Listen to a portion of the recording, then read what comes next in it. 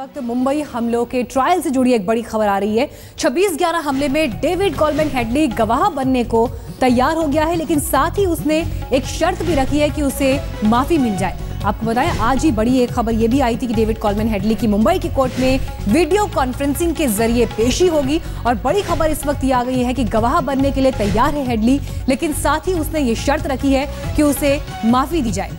आपको बता दें, डेविड कॉलमैन हेडली, जो शिकागो जेल में बंद है, साथ ही मुंबई हमलों के मुख्य आरोपियों में से विद्या जुड़ गई है इस वक्त हमारे साथ और जानकारी के साथ। विद्या, ये वीडियो कॉन्फ्रेंसिंग वाले मसले से ही जुड़ी खबर है? जी, बिल्कुल। आज वीडियो कॉन्फ्रेंस के ज़रिए डेविड हेडली को मुंबई की अदालत में पेश होना था। अदालत ने ग्यारह जो उसके खिलाफ जो धाराएँ और अलग अलग जो कॉग्निजेंस उसके लिए लिया है वो उसकी उसके बारे में उसको बताया गया। उसने सब सुना, उसने कहा कि हाँ उसे समन्स भी मिला था।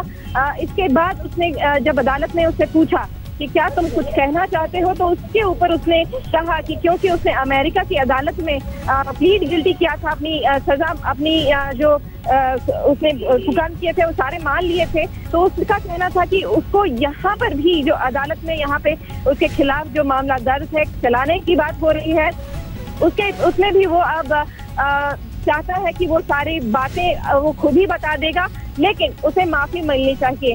जो सरकारी पक्ष के वकील हैं उज्जवल निकम उन्होंने आधे घंटे का समय मांगा है। वो चाहते हैं कि वो अपने वकीलों से और दूसरे वकीलों और जो अधिकारी है मुंबई पुलिस के आला अधिकारी उनसे बात कर लें। उनसे बात करके जब वो मान लेंगे कि चलिए डेविड कोलमन हेडली अपने सारे गुनाहों के लिए माफ़ी मांग तो रहा है लेकिन वो सारी और भी बातें वो शायद बता देगा मुंबई जो अदालत में। तो दूसरे जो जो लोग हैं जिन जो आरोपी है उनके खिलाफ मामला चलाने में उन्हें आसानी होगी। विदेश मंत्री सुषमा स्वराज बोल रही हैं।